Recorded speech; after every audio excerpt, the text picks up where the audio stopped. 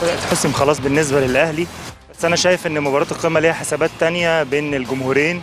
آه، أي جمهور طبعا بيبقى بيحاول إن هو يثبت لنفسه إن جم... إن فرقته هي اللي احق كانت بالدوري سواء حتى ال- اللي فعلا حسم الدوري أو غيره.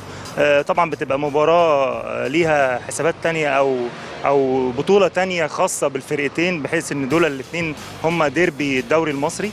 وأنا شايف إنها طبعا هتبقى برضه هت- هتحتل حماس وتشجيع تاني خالص بعيد عن الدوري يعني. اللعيبة زي ما هي عارفة إن هي خسرت الدوري هي ليها ال ال ال يعني ليها كل واحد ليه آه، حماس جواه إنه عايز يحقق انتصار داخلي أو نجاح لنفسه إن هو يفوز على أكبر آه، نادي تا- تاني جماهيري جوه النادي جوه الدوري المصري. هي مباراة طبعا ما لهاش علاقة إن الدوري اتحسم أو الدوري ما اتحسمش. دي بطولة لوحدها. الأهلي يهمه إن هو يكسب عشان يثبت إن هو خد ال- الدوري عن جدارة وإن هو الأحق. الزمالك يهمه إن هو يكسب عشان ما يبقاش خسر كل حاجة. الدوري وماتش زي دوت ويهمه إن هو يكسب عشان يثبت إن لأ السنة دي كنت أنا الأفضل كنت أنا الاحق في عوامل تانية هي اللي ضيعت مننا البطولة السنة دي كزملكاوي يعني.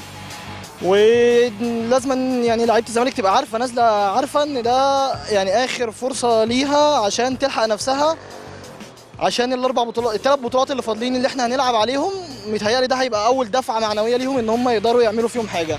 بالنسبة للزمالك هتكون رد شوية فرحة ل- يعني بعض الفرحة لجماهيره لأن بطولة الأهلي والزمالك بطولة خاصة وهي ربع بطولة بالنسبة للدوري طبعا لكن هي بطولة خاصة. بإنك أنت بتيجي في أول السنة السيزون بيجي يلعبوا مع بعض تاني بتقول ده فاز على ده كم مرة بتاع بتقلل فرق إنك الأهلي بالنسبة للزمالك الأهلي فاز أكتر بتقلل الفرق يعني حاجات زي كده. مباراة القمة طول عمرها بطولة منفصلة. ملهاش أي علاقة بمين اللي خد الدوري أو مين اللي خد الكاس. الأهلي والزمالك مع بعض في أي بطولة أو أي مسابقة بطولة منفصلة. ملهاش أي علاقة بمين اللي خد الدرع. لو في تأثير لو في تأثير يعني هيبقى تأثير على لعيبة الزمالك إن هم عايزين يعوضوا خسارة الدوري فهيبقى الدافع عندهم أقوى للفوز. عكس ال- الأهلي الأهلي آه، مبسوط ومنتعش فممكن ما يكونش إصراره بنفس آه، قدر إصرار آه، لعيبة الزمالك. الدوري طبعا محسوم للأهلي. آه طبيعي طبعا إن الزمالك هيبقى نازل عايز يكسب الماتش عشان برضك يبقى مبين للناس إن هو عنده استعداد إن هو في قمة تانية في دوري تاني بيلعب مثلا إيه على أساس إن هو ممكن يكسر حتى فرحة الأهلي.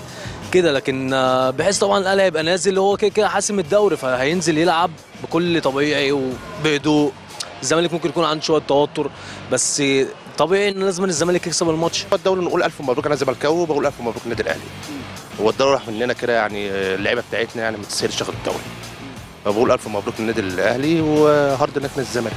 لقاء القمة ليه طعم تاني وغير أي بطولة. لقاء القمة سواء أهلي أو زمالك. آه، يبقى ليه طعم تاني بالنسبة للأهلي أو الزمالك؟ ده مباراة قمة. ما فيش حد يتوقعها.